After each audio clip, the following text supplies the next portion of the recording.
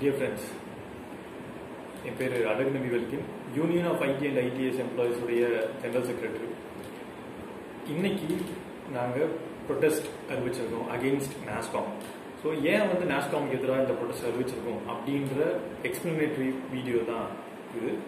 So முக்கியமாக நான் இந்த வீடியோவை ரெண்டு மேஜர் செக்ஷன்ஸாக பிரிச்சிருக்கேன். ஒன்று எஃபெக்ட்ஸ் ரெண்டு காஸ்ட் இப்போ நாஸ்காம் ரீசெண்டாக ஒர்க் ஃப்ரம் ஹோம் சம்மந்தமாக பாலிசி ரெக்கமெண்டேஷன்ஸை வந்து கவர்மெண்ட்டுக்கு கொடுத்துருக்காங்க.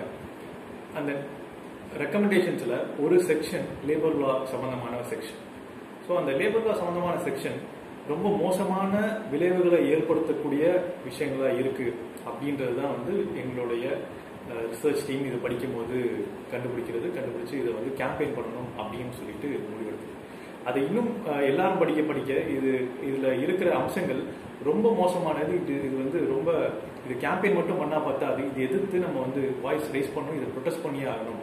அப்படின்ற இது இதில் இருக்க கருத்துக்கள் வந்து மோசமாக இருக்குன்றதுக்காக தான் இப்போ ப்ரொடெஸ்டே வந்து அறிவிச்சிருக்கோம்.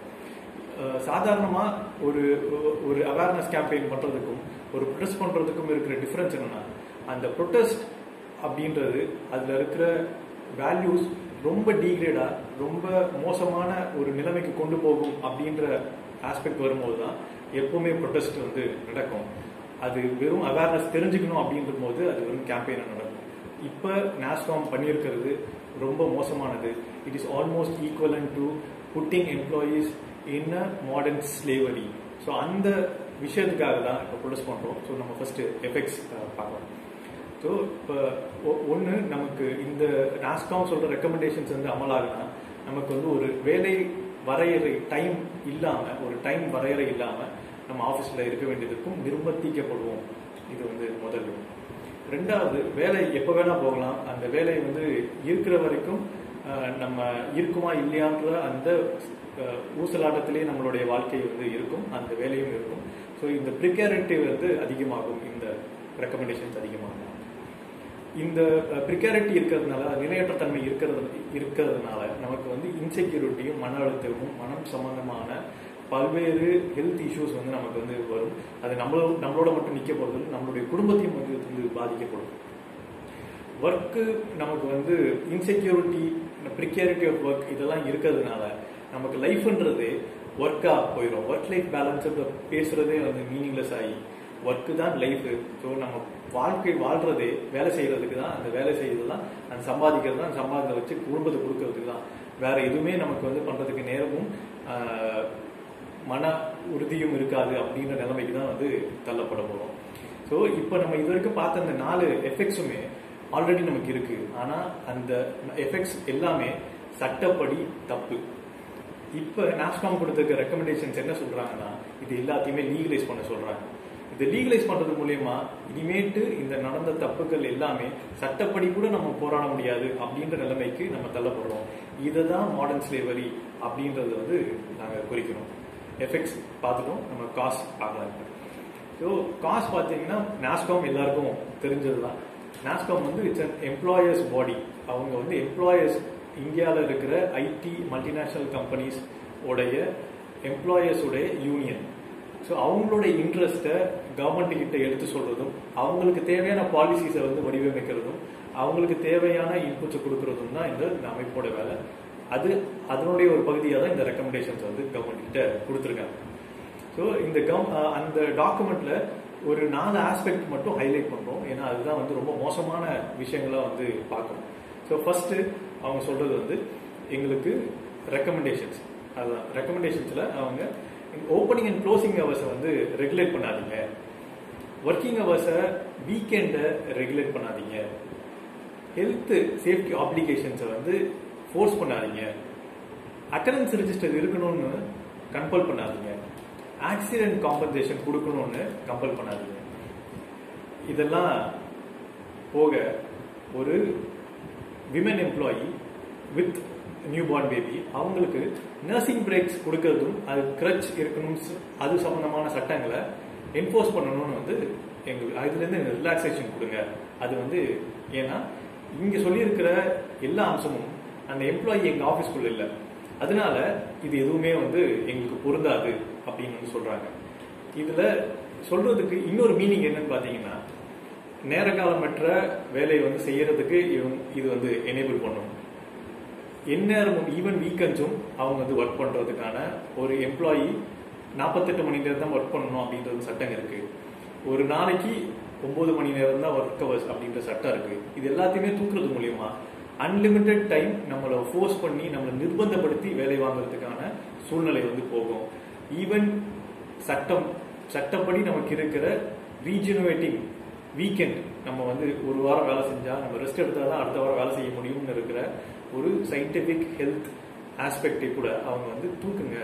அவங்க வேணும்னா எம்ப்ளாயீஸ் வேணும்னா எடுத்துக்க போறாங்க அப்படின்னு சொல்லிட்டு எம்ப்ளாயீஸ்க்கு நல்லது பண்ற மாதிரி பேசி இருக்கிற உரிமைகளை தூக்கிட்டா அதுக்கப்புறம் எம்ப்ளாயிஸை நிர்பந்தப்படுத்தி அவங்கள ஃபோர்ஸ் பண்ணி அவங்கள வந்து வேலை வாங்குறதுன்றது வந்து பெரிய கடினமாக இருக்காது அப்படின்றத நம்பி இது பண்ணுறாங்க முக்கியமாக ஹெல்த் அண்ட் சேஃப்டி ஆப்ளிகேஷன்ஸை தூக்குங்க. ஏன்னா அவங்க எங்கள் ஆஃபீஸில் இல்லை.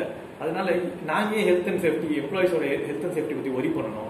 அவங்க எங்கே தான் வேலை செஞ்சாலும் அது வந்து அவங்களுடைய பிசிக்கல் ஹெல்த்தை மட்டுமே இவங்க பாக்குறாங்களே தவிர அதுலயும் ஆஸ்பெக்ட் இருக்கு. நம்ம ஒர்க் ஃப்ரம் ஹோம்லயும் பிசிக்கல் ஹெல்த் வந்து பாதிக்கப்படும். ஆனா மென்டல் ஹெல்த்தை வந்து சுத்தமா இதை பத்தி பேசாம எ- எல்லாத்துலயுமே வந்து இருந்து விளக்க கேட்குறாங்க இந்த காம்பன்சேஷன் ஏதாவது எம்ப்ளாயிஸ் ஒர்க் பண்ணும்போது நடந்துட்டா ஒர்க்கிங் டைம்ல வந்து ஏதாவது பிரச்சனை நடந்துட்டா ஆக்சிடென்ட்டோ ஷாக்கோ இல்ல அந்த டிவைஸ் வெடிச்சிருச்சோ வாட் அதெல்லாம் எங்க பிரச்சனை இல்லை அதெல்லாம் எம்ப்ளாயிஸோட பிரச்சனை அப்படின்ட்டு முழுக்க கை கழுவுற வேலை வந்து இவங்க கேட்குறாங்க ஸோ இந்த பட் இது எல்லாமே ஏன் கேட்குறாங்கன்னா எம்ப்ளாயிஸ் வந்து எங்கள் இடத்துல வேலை செய்யலாம் அவங்க அவங்க இடத்துல வேலை செய்கிறாங்க அப்படின்ற லாஜிக் இது முக்கியமாக நம்ம புரிஞ்சுக்க வேண்டியது. அடுத்த செட் ஆஃப் டிமாண்ட்ஸ் என்ன வைக்கிறாங்கன்னா இண்டஸ்ட்ரியல் டிஸ்பியூட் ஆக்டும் ஸ்டாண்டிங் ஆர்டர்ஸுமே எங்களை எக்ஸாம் பண்ணுங்கன்னு வைக்கிறாங்க. ஸோ சட்டம் தெரியாத எம்ப்ளாயீஸ்க்கு ஷார்ட்டாக என்ன ஸ்டாண்டிங் ஆர்டர்னா என்னன்னா ஒரு எம்ப்ளாயர் எம்ப்ளாயி கூட எப்படி அக்ரிமெண்ட் வச்சிருக்கணும் அந்த எம்ப்ளாய்மெண்ட் அக்ரிமெண்ட் என்னென்ன பேசிக் ஆஸ்பெக்ட்ஸ் இருக்கணும் அப்படின்றத சொல்றது தான் ஸ்டாண்டிங் ஆர்டர்ஸ் அந்த ஸ்டாண்டிங் ஆர்டர் ஒரு எம்ப்ளாயி டிக்னிஃபைடு ஒர்க் இருக்கணும் ஒரு டீசென்ட் ஒர்க்கிங் கண்டிஷன்ஸ் இருக்கணும்ன்றது வந்து என்ஷூர் பண்ணுது. அதனால தான் நமக்கு பாத்ரூம் இருக்கு அதனால தான் நமக்கு வந்து பிரேக்ஸ் இருக்கு அதனால தான் வந்து நமக்கு வந்து லீவ்ஸ் இருக்கு. ஸோ இது எல்லாமே வந்து ஸ்டாண்டிங் ஆர்டர் இல்லைன்னா இது எதுவுமே இருக்காது. அதே மாதிரி இந்த ஸ்டாண்டிங் ஆர்டர் அமல்படுத்தல அப்படின்னா ஃபார் எக்ஸாம்பிள் செக்ஷுவல் ஹராஸ்மெண்ட் நடக்குது. இது வந்து அகைன் ஸ்டாண்டிங் ஆர்டர் இது வந்து லீவ் மறுக்கிறாங்க சம்பளம் கொடுக்கல ரிட்டர்ன்ஸ் பண்றாங்க இல்லீகலா இது எல்லாமே அகைன் ஸ்டாண்டிங் ஆர்டர்ஸ் இந்த சட்டப்படி தப்பான விஷயங்கள் இல்லை அகைன் ஸ்டாண்டிங் ஆர்டர் விஷயங்கள் நடக்கும்போது நம்ம இண்டஸ்ட்ரியல் டிஸ்பியூட் ஆக்ட் மூலியமா தான் நம்மளால வந்து கம்பெனி எதிர்த்து சண்டை போட முடியும். ஸோ ஸ்டாண்டிங் ஆர்டரும் இண்டஸ்ட்ரியல் டிஸ்பியூட் ஆக்டும் தூக்கிட்டா ஒரு நிறுவனத்துக்கு அவங்க எப்படி வந்து டிக்னிஃபைடு ஒர்க்கிங் கண்டிஷன்ஸ் வைக்கணுன்றதுக்கு வந்து சட்டமே இருக்காது. அதை ரெகுலேட்டே யாரும் பண்ணல. அப்படி அதுல மீறவங்க மீறினா அந்த கம்பெனி மீறும் போது எப்படி வந்து அவங்களுக்கு தண்டனை கிடைக்கும்? எப்படி வந்து நம்மளுடைய உரிமையை வந்து நிலைநாட்டுது அப்படின்னு அஹ், எந்த ஒரு ஸ்கோப்புமே இருக்காது. ஸோ இந்த ரெண்டுமே தூக்குறது மூலயமா அவங்க ஒரு கம்ப்ளீட் ஃப்ரீடம் வேணும்னு எதிர்பார்க்குறாங்க.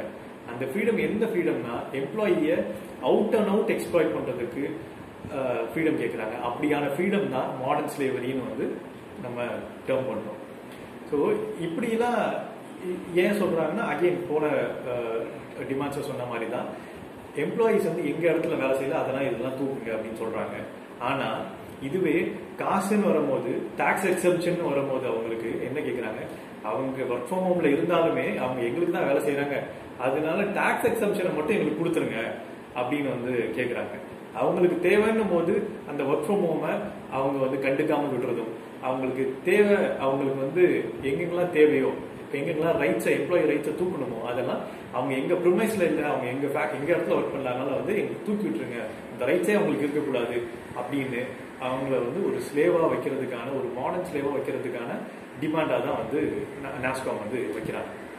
ஆல்ரெடி நமக்கு வந்து நம்ம கவர்மெண்ட் நமக்கு இருக்கிற கொஞ்சம் கொஞ்ச ரைட்ஸையும் அமல்படுத்த மாட்டேங்குது என்ஃபோர்ஸ் பண்ண மாட்டேங்குது வேடிக்கை பார்த்துட்டு இருக்காங்க. ஒவ்வொரு வாட்டியும் வந்து கம்பெனிஸ் வந்து இல்லீகலாக மாஸ் ட்ரான்ஸ்ஃபர் பண்ணும்போது வேலையை தூக்கும் போது எம்ப்ளாயிஸை ஃபோர்ஸ் பண்ணி வெளியில் அனுப்பும் போது ஆனால் அதை வந்து லீகலாக சேலஞ்ச் பண்ணுறதுக்காச்சும் நமக்கு இது வரைக்கும் ஸ்கோப் இருந்துச்சு. இது எல்லாம் அமலாச்சுன்னா நமக்கு அந்த லீகல் ஸ்கோப்பே இருக்காது.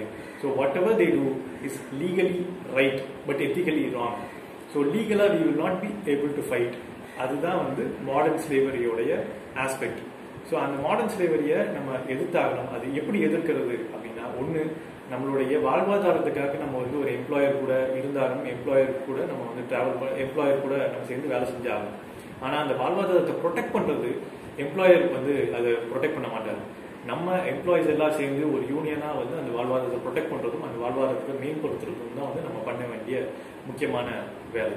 அது அது எதை நோக்கி பண்ணணும்னா நம்ம இப்போ ஒர்க் ஃப்ரம் ஹோம் காலகட்டம் ஒர்க் ஃப்ரம் ஹோமுக்கான டிமாண்ட்ஸ் இதை இதை நோக்கி வந்து நம்ம எம்ப்ளாயிஸ் மத்தியில் நம்ம கொலீக்ஸ் மத்தியில் நம்ம வந்து யூனியன் ஒர்க் பார்க்க வேண்டிய தேவை இருக்குது கேம்பெயின் பண்ண வேண்டிய தேவை இருக்குது ஒர்க் டைமை முப்பது மணி நேரமாக ஃபார் அ வீக் வந்து ரெடியூஸ் பண்ணணும்.